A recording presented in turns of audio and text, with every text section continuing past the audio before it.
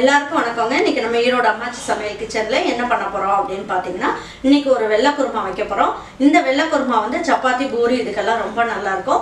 இது நல்ல பியூர் ஒயிட்டாக ரொம்ப நல்லாயிருக்கும். இதுக்கு என்னென்னலாம் போட்டு அரைச்சி எப்படி வைக்கலாம்னு பார்ப்போம் வாங்க. நம்மளோட சேனலில் சப்ஸ்கிரைப் பண்ணாதவங்க சப்ஸ்கிரைப் பண்ணிக்கோங்க. சமையல் குறிப்புகள்லாம் உடனே உங்களுக்கு வேணும்னு நினச்சிங்கன்னா பக்கத்தில் இருக்க பெல் பட்டனை அழுத்தி வச்சுக்கோங்க. அப்படியே ஃபேஸ்புக் இன்ஸ்டாகிராம் ஷேர் சேட்டை ஃபாலோ பண்ண மறந்துடாதீங்க. பாருங்கள் நூக்கல் வந்து நான் எடுத்திருக்கேன். இது ஒரே ஒரு நூக்கல் பெருசாக இருந்தது. இதை கட் பண்ணி எடுத்து வச்சுருக்கேன். உங்களுக்கு எந்த சைஸ் வேணுமோ நீங்கள் எடுத்துக்கலாம். பீன்ஸும் இந்த மாதிரி நல்ல பொடியாக கட் பண்ணிக்கோங்க. இப்போ கேரட் பார்த்திங்கன்னா ஒரு கைப்பிடி அளவுக்கு போட்டுக்கோங்க. பச்சை பட்டாணியும் உங்களுக்கு ஒரு கைப்பிடி அளவுக்கு போட்டுக்கலாம். உருளைக்கிழங்கு மட்டும் நீங்கள் என்ன பண்ணுங்கள் இந்த மாதிரி தோல் உரிச்சிட்டு நல்லா உங்களுக்கு எந்த சைஸ் வேணுமோ நீங்கள் போட்டுக்கோங்க. போட்டு அதை வந்து தண்ணியில் போட்டு வச்சுக்கோங்க. இல்லைன்னா உங்களுக்கு கருத்து போயிடும் இதுக்கு தேவையான அளவுக்கு தண்ணி ஊற்றிக்கலாம் முழுகிற அளவுக்கு தண்ணி ஊற்றிக்கோங்க இது வேகிறதுக்கு என்ன பண்ணுங்கள் ஒரு ஸ்பூன் அளவுக்கு தேங்காய் எண்ணெய் ஊற்றிக்கோங்க தேங்காய் எண்ணெய் ஊற்றிட்டிங்கன்னா உங்களுக்கு நல்ல டேஸ்ட் கிடைக்கும். இதுக்கு தேவையான அளவுக்கு உப்பு போட்டுக்கோங்க. உப்பு போட்டுட்டு நீங்கள் மஞ்சள் தூள் எதுவுமே போட வேண்டாம். போடாமல் நீங்கள் வந்து குக்கரை வச்சு ஒரு விசில் வந்ததுக்கப்புறம் ரெண்டு நிமிஷம் மட்டும் நீங்கள் ஸ்லோ பண்ணிங்கன்னா இருக்க காயெல்லாம் நல்லா வெந்துடும் இப்போ மசாலா எப்படி அரைக்கலாம்னு பார்ப்போம். வெறும் சோம்பு மட்டும் போட்டு அரைச்சிக்கோங்க. இது ஒரு ஸ்பூன் அளவுக்கு போட்டுக்கலாம். வேறு மிளகாய் தூள்லாம் எதுவும் போட வேண்டாம். நீங்கள் மூணே மூணு பச்சை மிளகாய் போட்டுக்கலாம். அப்புறம் சின்ன பீஸ் வந்து நம்ம என்ன பண்ணுவோம்? இஞ்சி எடுத்துக்கலாம். ரெண்டு பல்லு பூண்டு எடுத்துக்கலாம். பெரிய வெங்காயம் ஒன்று தாளிக்கு எடுக்கிறீங்கன்னா அதில் கால் பகுதி வந்து இந்த மாதிரி கொஞ்சம் எடுத்து போட்டுக்குங்க. முந்திரி பருப்பை என்ன பண்ணியிருக்கேன் தண்ணியிலேயே நல்லா ஊற வச்சுட்டேன் இது ஒரு அஞ்சு முந்திரி பருப்பு போட்டுக்கலாம். தண்ணியில் நல்லா ஊற வச்சுட்டு தோலை உரிச்சிருங்க. உரிச்சிட்டிங்கன்னா உங்களுக்கு வந்து நல்லா ஊறினாலே தோல் வந்து நல்லா வந்துடும் இதில் ஒரு ஒன்பது பாதாம் எடுத்திருக்கேன். அதையும் போட்டுக்கலாம். உங்களுக்கு பாதாமும் முந்திரியும் இல்லை அப்படின்னு நினச்சிங்கன்னா நீங்கள் ஒரு ஸ்பூன் பொட்டுக்கல்ல போட்டுக்கலாம். தேங்காயை திருவாமல் இந்த மாதிரி நீங்கள் ஓடு மேலே இருக்கும் இல்லைங்களா பிளாக் கலரில் இருக்கும்ல அதை எடுத்துகிட்டு போட்டிங்கன்னா உங்கள் குருமா வந்து நல்ல ஒயிட் கலரில் சூப்பராக இருக்கும்.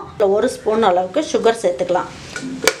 இப்போ நம்ம என்ன பண்ணலாம்? இதை நம்ம நல்லா நைஸாக துருவிட்டு அதுக்கப்புறம் தண்ணி ஊற்றி அரைச்சி எடுத்துக்கலாம். இதுக்கு தேவையான அளவுக்கு எண்ணெய் வந்து நம்ம தேங்காய் எண்ணெயை ஊற்றிக்கலாம் இப்போ பாருங்கள் ஒரே ஒரு ஸ்டார் பூ இருக்கு இல்லைங்களா அது ஒன்று போட்டுக்கலாம். மூணே மூணு கிராம்பு. ரெண்டு பட்டை போட்டுக்கலாம். கல்பாசி இருக்கு இல்லைங்களா? அது ஒரு சின்ன பீஸ் போட்டுக்கலாம். போட்டிங்கன்னா நல்ல டேஸ்ட் கொடுக்கும். ஏலக்காயை சும்மா அந்த மாதிரி நசுக்கிட்டு ஒன்றே ஒன்று போடுங்க.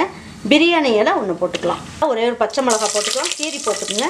பெரிய வெங்காயம் பாருங்கள் நான் கொஞ்சம் எடுத்து நான் அரைக்கிறதுக்கு போட்டுக்கிட்டேன் பச்சையாக இப்போ மீதி இருக்கிறத இதில் போட்டுக்கலாம். இதில் ரெண்டு இனுக்கு கருவேப்பிலை போட்டுக்கலாம். வெங்காயத்துக்கு தகுந்த அளவுக்கு மட்டும் உப்பு போட்டுக்கலாம். ஏற்கனவே நம்ம அரைக்கும் போது நம்ம காயெல்லாம் வேக வைக்கும் போது உப்பு போட்டிருக்கோம்.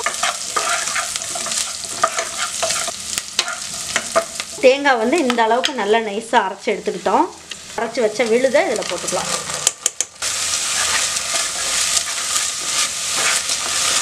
நம்ம எடுத்து வச்சுருக்கோம் இல்லைங்களா?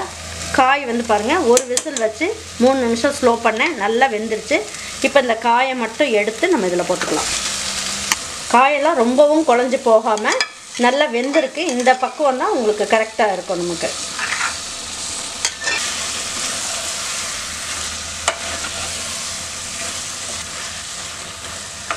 நமக்கு வந்து இதுக்கு தக்காளியெல்லாம் எதுவுமே சேர்க்கலை. அதுக்காக நான் என்ன பண்ணுறேன் ஒரு கால் ஸ்பூன் அளவுக்கு லெமன் ஜூஸ் ஊற்றிக்கலாம்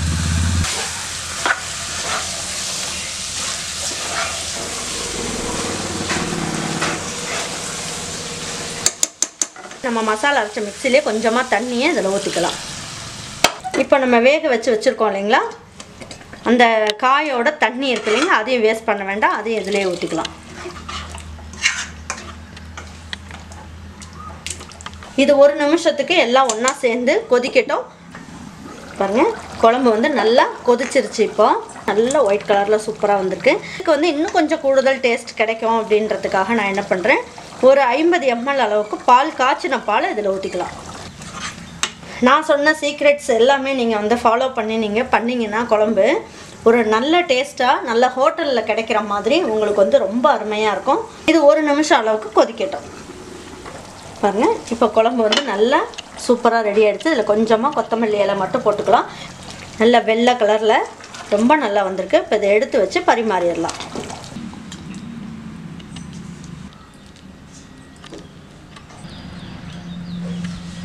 இதுக்கு வந்து நல்ல ஒரு சப்பாத்தி ஒன்று இந்த மாதிரி சுட்டு வச்சுட்டு இந்த குருமா ஒன்று செஞ்சுட்டு சாப்பிட்டிங்கன்னா ரொம்ப நல்லாயிருக்கும். இதுக்கு புலாவெல்லாம் எடுத்து வச்சு சாப்பிட்டாலும் ரொம்ப நல்லாயிருக்கும். கண்டிப்பாக இந்த ஒரு குருமாவை நீங்கள் வந்து உங்கள் வீட்டில் செஞ்சு பாருங்கள் செஞ்சு பார்த்துட்டு உங்கள் வீட்டில் இருக்க பிள்ளைங்களுக்கும் பெரியவங்களுக்கும் செஞ்சு கொடுங்க. கண்டிப்பாக வேண்டானே சொல்ல மாட்டாங்க. அந்த அளவுக்கு டேஸ்ட் வந்து ரொம்ப அருமையாக இருக்குது செஞ்சு பார்த்துட்டு உங்களுக்கு உங்கள் எல்லாருக்கும் பிடிச்சிருந்ததுன்னா லைக் பண்ணுங்கள் ஷேர் பண்ணுங்கள் சப்ஸ்கிரைப் பண்ணுங்கள் மறந்துடாமல் ஃபேஸ்புக்லேயும் ஃபாலோ பண்ண மறந்துடாதீங்க. தேங்க்யூ ஃபார் வாட்சிங் ஈரோட மாச்சு சமையல். தேங்க்யூ